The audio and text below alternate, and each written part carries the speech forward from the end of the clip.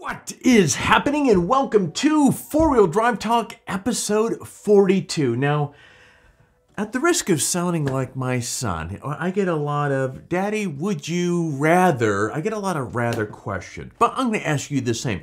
Would you rather go on off-roading in a electric dune buggy, a all-electric Jeep, or a beefed up pickup?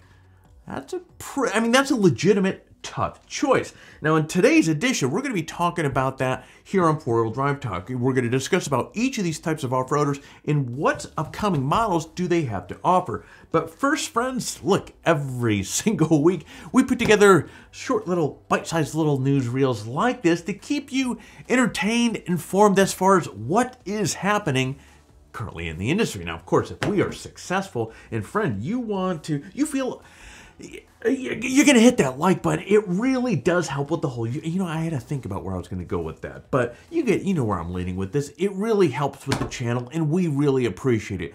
That said, my friends, let's shift gears and uh, let's get on to this week's headlines. Now, if you're a fan of off-roading history, you know the name Meyers Manx. Now, the original Meyers Manx, uh, which was released in the mid-1960s, was the ultimate dune buggy. It was lightweight, cheap, and a blast to drive. Hell, my first introduction to this was, uh, I keep thinking back, it's funny, as I'm, when we cover stories like this on this particular vehicle, um, or uh, we had a feature that we did a little while back, I always come, I was born in the early 70s, and my first view of this thing was with Scooby-Doo. Somebody in there was driving around with one of these things. But anyways, actually, I think it drove itself around, but aside the point. Now Meyers Manx is making a comeback, and this time, friends, as you probably guess it, this thing is all electric. Now, while the buggy is all modern underneath, its outward appearance, man, it looks vintage. Now up front are two bug-eyed headlights mounted on a curvy body. Now you have big tires for driving in the sand, which are also part of the package. And when you compare the original Meyers Manx to what you see right now today, you can see quite a bit of similarities. Now, there's going to be two battery sizes available with this thing. You have a 20 kilowatt hour and you have a 40 kilowatt hour. Now, the 40 kilowatt hour battery offers up to a 300 range, which is actually pretty stinking awesome, 202 horsepower and 240 pounds of torque. Now, at this time, though, the specs on the 20 kilowatt hour battery really haven't been released. And obviously, with, with uh, the range on that, with the 20 kilowatt, as we get more details, we'll keep you guys informed on that. But both versions of the new Meyers Manx will have two motors, uh, and they're going to be rear wheel drive. Now, this thing looks like it would be an absolute blast in hell super fast to go ripping around it as well. Now, if you want to learn more about the history of Meyer Manx, what I'm going to do is I'm going to provide a link to an article on Four Wheel Drive Talk that we drafted up uh, or published some time ago, and I'm going to put a link on that in the description which I think I just said that. But I'll also put a link uh, to Meyers Manx if you want to get more details on the current buggy as well. Now, a couple years ago, Jeep introduced the Wrangler 4xe. This was a plug-in hybrid version of its iconic off-roader. Now, well, now Jeep is going all electric with the new Wrangler EV that is set to debut in 2024. Now, if you keep tabs on the annual uh, Jeep Easter Safari in Moab, you know that each of the last two years, they have featured a prototype all-electric Wrangler called Magneto, which was actually technically the name in 2021, and Magneto 2.0 this year. Now, the first Magneto concept, you while it looked awesome, it let's be real here. It lacked power. It only had 285 horses and 273 foot-pounds of torque. But Magneto 2.0 Man, Jeep stepped it up here. They doubled down. They showed what is possible with a all-electric Wrangler with a oxo, or excuse me, an axial flux motor that is capable of 624 horsepower and 850 pound, 850 pounds of torque. That is the kind of power that you need for taking a Wrangler off-road and just having a blast with it. Now, there's really no confirmation from Jeep regarding which motor will make it into production. Wranglers Perhaps both of them will. Uh, you have the kind of the less powerful one for the base models, and you have the more powerful one for the full-on beast mode. Get out there, have a blast. Now, what we do know for sure is this: the Wrangler EV is going to be built with aftermarket goodies in mind. I mean, when you think about the ecosystem of aftermarket parts for Jeeps, it's absolutely massive. There are far too many companies that really make killer accessories for the Wrangler for Jeep to change its styling, suspension, and so forth. So despite being an all-electric rig, count on the Wrangler EV to look like its gas-powered brother. Now the great thing about having a full-size truck for off-roading is that there is so much space for your gear in the bed.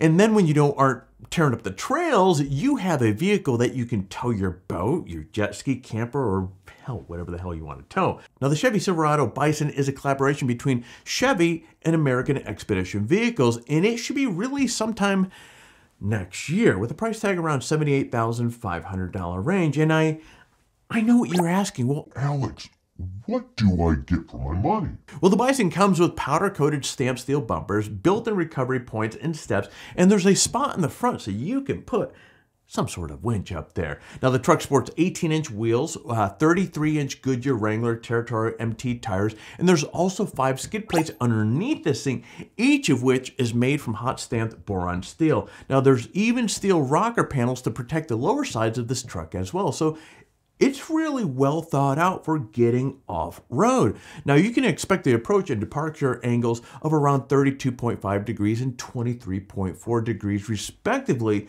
both of which are improvements over the stock Silverado. Now the truck also gets upgraded Multimatic DSSV spool valve dampeners and springs. Now let's kind of shift gears and talk about the good stuff underneath the hood. This beast is or has a 6.2 liter V8 that puts down 420 horsepower and 460 foot-pounds of torque. So hell, there's gonna be really no lack of power. And again, the Silverado Bison will come out sometime next year. Now we're gonna keep you guys informed as we get more information on a firm date as that is announced. In friends, that is all I have for headlines this week. You know what, actually, before we get into the giveaway stuff here, in the beginning of this, this video, I asked, which would you rather have? The Dune Buggy, the all-electric Jeep, or the beast of a bison or the Silverado bison pickup. Now, I'm going to ask you now, now that you've seen or heard what is happening with each of these companies here, um, leave a comment below. Which, if you had a choice, if somebody said, here, here are the keys to one of these vehicles, you can have it, get out there, have fun, rip around in it. Which would you choose? The Dune Buggy, the electric Dune Buggy, the electric Jeep, or the Silverado Bison pickup truck? Leave a comment down below. And with uh, before we go jumping off here, as I mentioned, let's uh, let's take a look at. We have three excellent prizes. We have this giveaway that's going on right now, uh, and the three prizes are: we have the Peak Design 35 liter duffel bag, we have the three Peak refuel meals, and of course the hundred dollar Amazon gift card. Now, as always, friends, we make it super easy for you to be able to participate and join all the action with these giveaways. To enter the giveaway is really simple. Uh, step one, like this video and subscribe to our channel. Step two, leave a comment below. In fact, the more of our videos that you watch and leave a comment on, the more chances that you have to win. So hell, get watching some more other videos and leave some comments. Step three, register on four-wheel drive talk and introduce yourself in the forum. Now, if you happen to have registered on the site during one of the last giveaways, you're still eligible to win. But friend, as I keep saying over and over again, swing on by, say hello. We would love to see you, and that is it. Now, for complete details on the giveaway, including how to register Four Wheel Drive Talk or how to say hello in the forum, check out the description below. Good luck. And friends, that is it for me here today. So I'm going to be jumping out of my office. Now, if you found some value with this video and, uh, you know, it's time for all the YouTube stuff. Hit that like button down below. We really appreciate it. If you're not subscribed to the channel, friend, we would love to have you part of the family. And by hitting the bell down below, you're not going to miss any of our upcoming future content that we will have on our, or that we're going to be publishing here. So, yeah. I'm trying to think if there's anything else. You know that I'm thinking that Dune Buggy would be a lot of fun. I'm up for me. Honestly, the Silverado Bison, it looks like a badass truck. I would I'm on the fence between if Jeep can because the with the electric Jeep there's no mention of the the range on this thing. We couldn't find anything on the range. Um, but with that little Dune buggy, 300 miles, shit, that is bad ass. So if the Jeep had decent range and I had some means of charging, I guess that would apply towards the Dune buggy as well. Either way, I'm I'm on the fence between the Dune buggy and the Jeep. Either or would be a lot of fun. When you look at the size of the Jeep, assuming the range is pretty decent, you have a actually no, I think I would go to the Jeep because you have a buttload more power. But the range needs to be there. If the range isn't there, go with the, go with the Dune buggy. But anyways, guys, I'm going to be turning off the camera so you get out there, stay healthy, and find your adventure.